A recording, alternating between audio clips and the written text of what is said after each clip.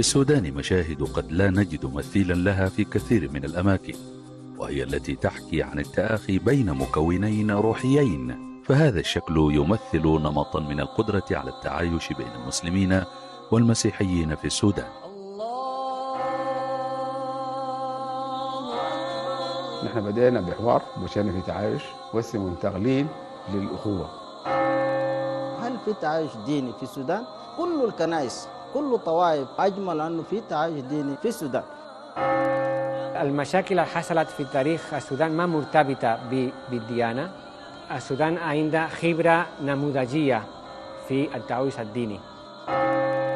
من أجمل ما في هذا الوطن السودان هو التعايش الديني بين الطوائف الدينية المختلفة. أنا السودان في اعتقادي بيعيش حالة من المثال أقرب للمثال في التعايش الديني. الله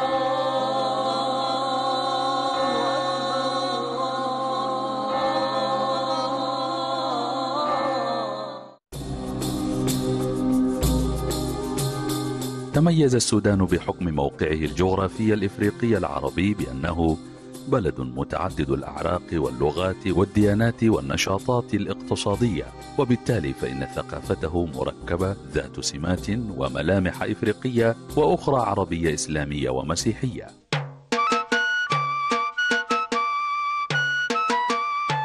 ما نحكي عنه من قيم التعايش الديني هذا لم يكن هو واقع اليوم.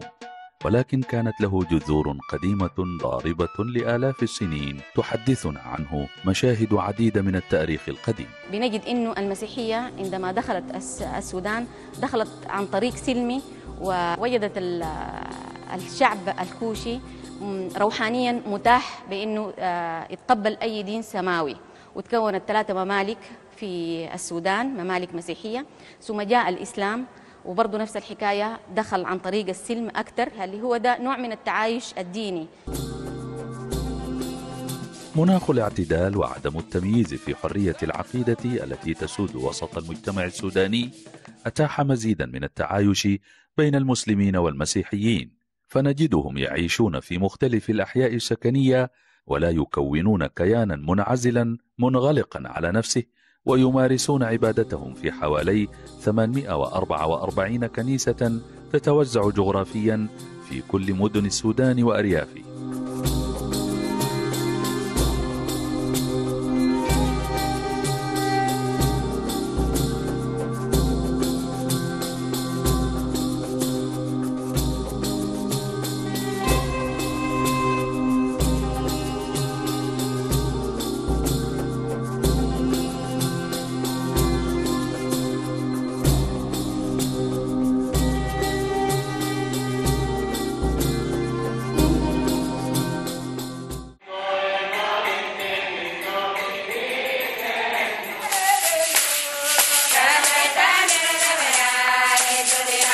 يؤدي المسيحيون شعائرهم بحرية واسعة وفق نصوص القانون والعرف السوداني والذي أفرد مساحات كبيرة لحرية العبادة لكل الديانات وذلك بموجب المادة 64 والتي تعترف الدولة فيها بتحكيم غير المسلمين في شؤون الزواج والأسرة. الدستور في في وثيقة الحقوق من المادة 27 لغاية المادة 30 31 34 كلها بتتكلم عن الحريات حرية التدين حرية الاعتقاد. أنا مسلم مستشار لعدد من ال من ال من ال الكنائس. ورأيت بأم عيني يعني كيف ال ال الآن الأمور ماشية بكل يعني بكل حقوقها الدستورية ومتفقة مع المواثيق الدولية. أنجلو الزاكي أحد القساوسة الذين يسكنون أم درمان في كل أسبوع يذهب إلى الكنيسة التي تتوسط أحد أحياء أم درمان الكبيرة ليؤدي مع طائفته صلواتهم وشعائرهم. في هذا اليوم المبارك نشكر فيه كل الحضور.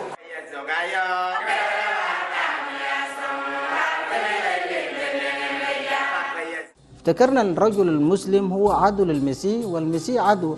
لكن بالتعايش الديني عملنا زيارات متبادلة.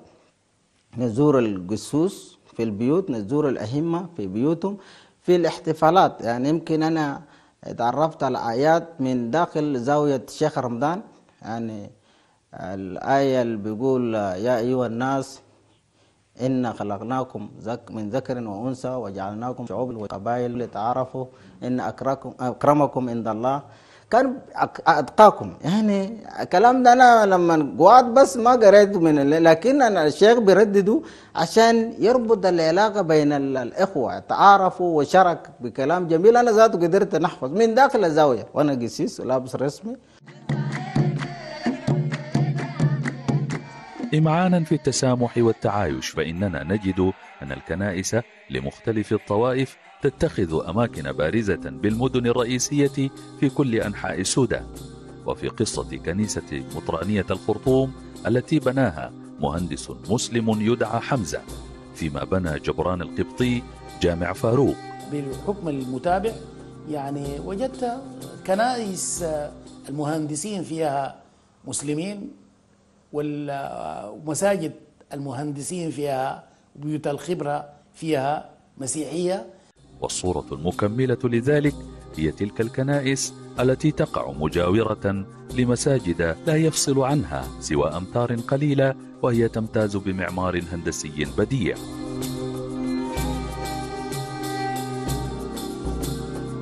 يعد الانفتاح الإعلامي في السودان وعبر وسائله المختلفة فرصة مناسبة للتعبير وطرح الآراء والأفكار والمعتقدات من خلالها وهذا حق مكفول للجميع. يكون فيها الاستقرار والسلام والمحبة والوحدة. وبرنامج حديث الأحد عبر الإذاعة السودانية نموذج يقدم من خلاله الإخوة المسيحيون برنامجهم الخاص بهم. التمازج والتداخل والتعايش بين أبناء الوطن الواحد لا يقف الدين عائقا في الطريق إطلاقا. فنجد احتفالات المسلمين بالأعياد الدينية هي أيضا مناسبة لمشاركة إخوانهم المسيحيين والعكس صحيح.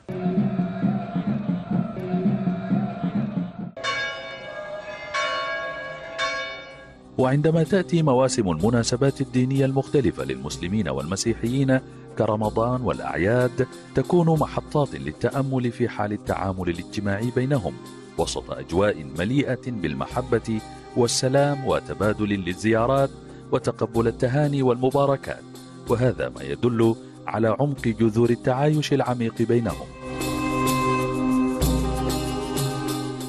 بجانب هذا التعايش الاجتماعي البارز والواضح نجد أن هذه الكنائس وبمختلف طوائفها قد قامت بإنشاء عدد من المراكز الخدمية الخاصة بها من الأندية والمراكز العلاجية والمكتبات بجانب النشاط الرياضي وكذلك التعليم. ويحدثنا التاريخ القديم عن حالة فريدة تؤكد على قيمة حالة من التسامح الديني. فقد أنشأ القبطي بوليس أول خلوة لتعليم القرآن وعلومه بمنطقة بيت المال بأم درمان منذ عام 84 800 وألف 43 900 وألف.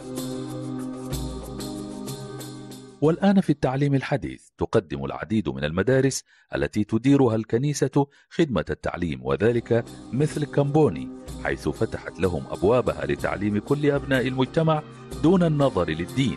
ولذا نجد أن أكثر من 70% من طلاب هذه المدارس هم من أبناء المسلمين.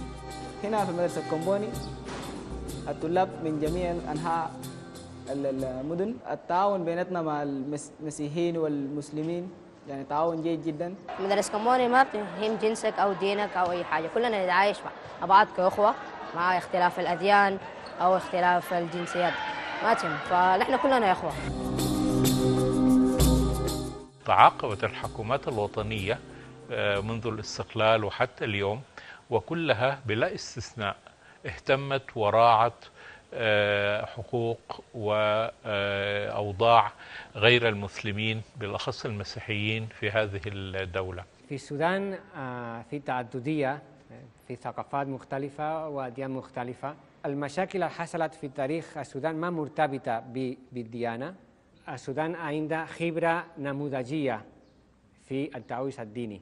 على مستوى القيادات الدينية الإسلامية والمسيحية توفرت مساحات كبيرة للتقارب والتعارف ومد جسور التواصل عبر الكثير من المؤتمرات والحوارات والتي أثمرت في نهايتها عن مزيد من المؤسسات والهيئات المشتركة والتي كان أهمها لجنة السلام الإسلامي المسيحي والتي تأسست عام 88 900 وألف على يد الشيخ عوض الله صالح ومطران الكنيسة الكاثوليكية بالخرطوم جبريال زبير وكان من أدواتها مجلس الرحمة السوداني. في نوفمبر 91 900 وألف ملتقى السلام العالمي بالخرطوم الذي ضم رجالا في قامة دكتور حسن الترابي والأب فيلوثاوس فرج كاهن كنيسة الشهيدين. في أبريل 93 900 وألف جاء مؤتمر حوار الأديان وشهد لقاء رئيس الجمهورية مع الأنبا سرابامون. ثم زيارة البابا للسودان ولقائه برئيس الجمهورية وطائفة من علماء المسلمين. 94 900 وألف قيام جمعية حوار الأديان السودانية في إطار مجلس الصداقة الشعبية العالمية بالخرطوم والذي شارك فيه المجلس البابوي لحوار الأديان بالفاتيكان ومجلس الكنائس العالمي ومجلس كنائس الشرق الأوسط ومجلس الكنائس الإفريقي وغيرها. في العام 2002 تم تكوين مجلس التعايش الديني وهو آلية ومنظمة طوعية وقد تم تكوينها بناء على مقترح من معهد دراسات السلام الأمريكي كتطور للجنة حوار الأديان في مجلس الصداقة الشعبية. المسيرة بتاعتنا ما ما زي باقي العالم يعني ما بدأنا بصراع.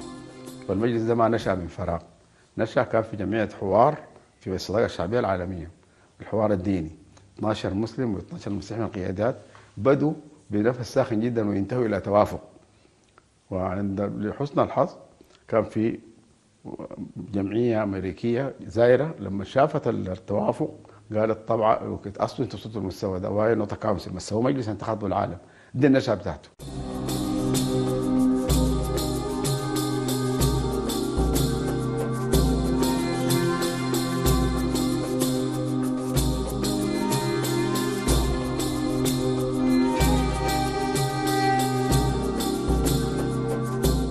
وفق كل ذلك نجد أن الواقع السوداني بعيد من التعصب والاستقطاب الديني بل ظلت الحكومات السودانية تعمل على تقديم الكثير من الخدمات والامتيازات في كافة المجالات وذلك بالرغم من الحديث عن وجود ما يسميه الإعلام في الخارج بالمضايقات ولكن للحقيقة قول آخر. كذلك فإن موقع السودان الجغرافي جعله قبلة للتداخل مع جيرانه بمختلف انتماءاتهم الدينية وهم كذلك وجدوا كامل حرياتهم في ممارسة شعائرهم الدينية.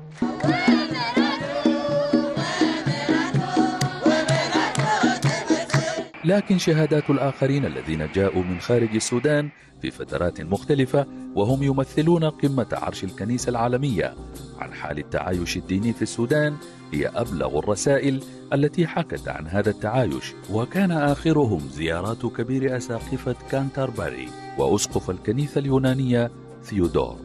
ثيودور κατόπιν που μίλησα με τον Αρχιεπίσκοπο μας το Σάβα να πω ένα μεγάλο ευχαριστώ στη χώρα του Σουδάν για την ελευθερία που μας δίδει. Μπορούμε να λειτουργούμε στην εκκλησία μας, μπορούμε να έχουμε τα σχολεία μας και το Σουδάν τώρα το χρειάζεται αυτή την καλή διαφήμιση, ας το πούμε, την καλή προπαγάνδα προς τα έξω για την ελευθερία και το σεβασμό των θρησκειών.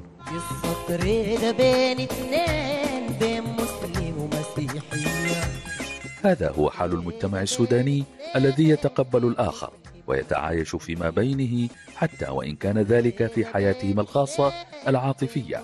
وهذا ما يدلل على التواصل الضارب بجذوره في عمق المجتمع.